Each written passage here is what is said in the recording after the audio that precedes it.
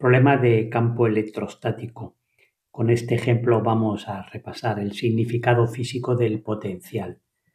Eh, la pregunta A nos dice, se traslada una carga de 5 microculombios, tenemos una carga Q, 5 microculombios positiva, desde el infinito se traslada hasta un punto P. Punto P. El potencial en el punto P me lo piden dándome como dato que realizamos un trabajo de 0,05 julios. Bueno, el trabajo, si no es un trabajo externo, deberemos de ponerlo negativo. 0,05 julios, trabajo que nosotros realizamos. Y tenemos que saber también que el potencial, vamos a llamar inicial, que es el del infinito, es cero. Eso no me lo dicen, pero tenemos que saberlo. El trabajo que realizamos al trasladar una carga, pues lo hacemos con esta fórmula. El trabajo será igual a menos la carga que trasladamos por el incremento de potencial. Es decir, menos carga por potencial final menos potencial inicial. A veces esta fórmula me la dan así, ponen la carga sin el signo menos y aquí ponen potencial inicial menos potencial final.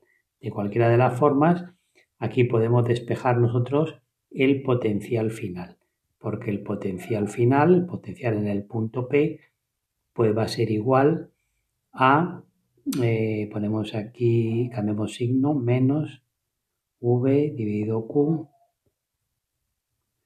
y luego más potencial inicial, ¿no? Potencial inicial, como hemos dicho que era cero, pues aquí lo que tenemos que poner es menos, y aquí ya numéricamente, pues será menos 0,05 y la carga con su signo, como es positiva, pues si está en microculombios, lo ponemos en culombios, 5 por 10 a la menos 6.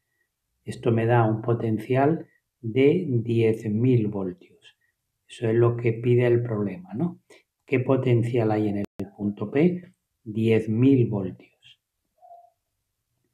La pregunta siguiente, la pregunta B, me dice que calcule la variación de energía potencial.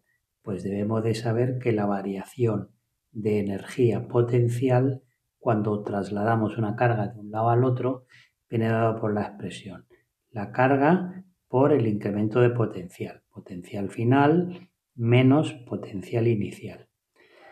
Eh, directamente lo podemos hacer, ¿no? La carga hemos quedado que era 5 por 10 a la menos 6, potencial final los 10.000 que hemos calculado, menos el inicial que es 0.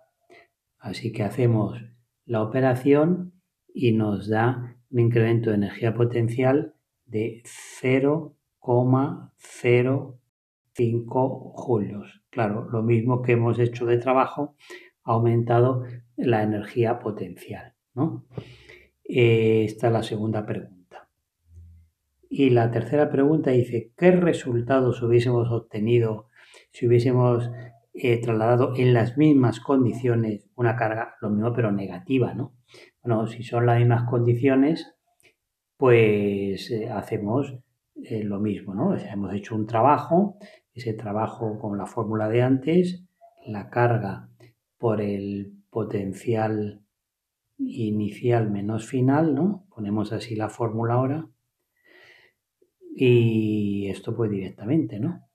Ponemos eh, la carga negativa menos 5 por 10 a la menos 6 el potencial final, el inicial es cero, el final es lo que tenemos que calcular y el trabajo es, hemos hecho lo mismo, ¿no? O sea, menos 0,05. Nos queda así, ¿no?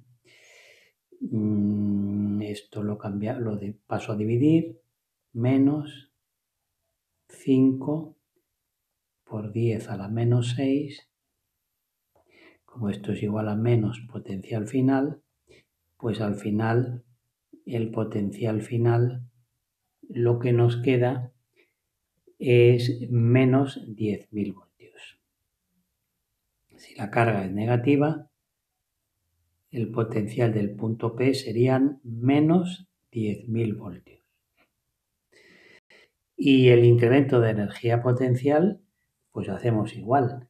Incremento de energía potencial igual la carga por potencial final menos potencial inicial, ¿no?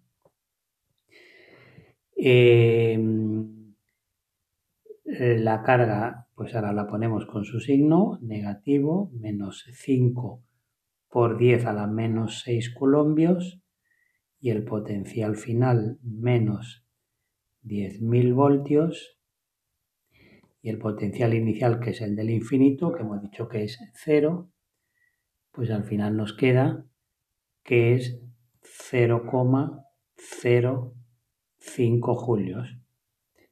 Claro, el resultado indica que la energía potencial de la carga aumenta, ¿no? Pues lo hemos hecho en las mismas condiciones que antes. Es decir, realizando un trabajo exterior. Si realiza un trabajo, pues justo el trabajo realizado es el aumento de energía potencial.